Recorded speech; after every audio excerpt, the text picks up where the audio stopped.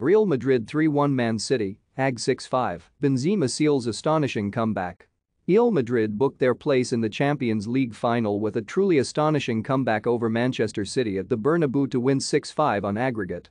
As the second leg of the semi-final tie ticked into the 90th minute, City were 1-0 up on the night and in control after Riyad Mahrez had rifled an effort past Thibaut Courtois earlier in the second half.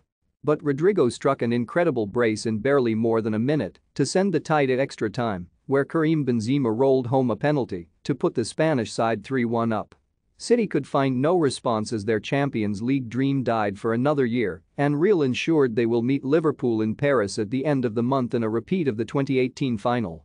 City were boosted by the return of Kyle Walker to bring some pace to the right side of defense, while Real had Casemiro back in midfield. The Brazilian's first involvement was to hack down Kevin De Bruyne with an ugly challenge, sparking a clash between both sets of players. Luka Modric and Aymeric Laporte each earned early yellow cards for their role in it. Benzema had a couple of chances from inside the box, sending the ball over the bar on both occasions before Vinicius Jr. snatched at a presentable chance. Bernardo Silva had the biggest chance of the first half as he was denied by Courtois from close range and Gabriel Jesus then whipped an effort wide from the edge of the area.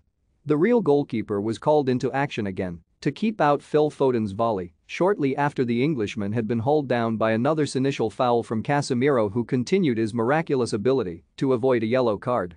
Second after the break, Real should have taken the lead on the night.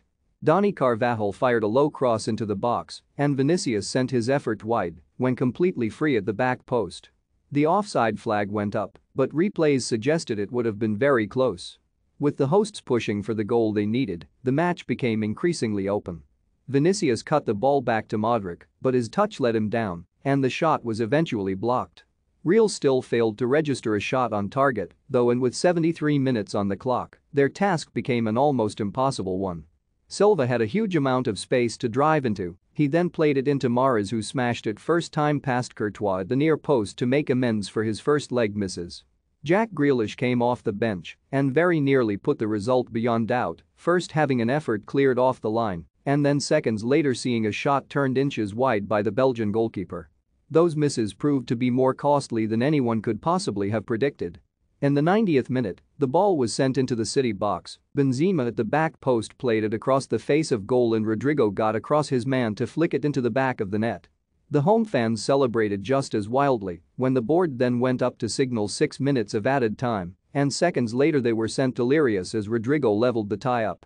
Carvajal whipped the cross in and the Brazilian got up brilliantly to power the header past a helpless Ederson.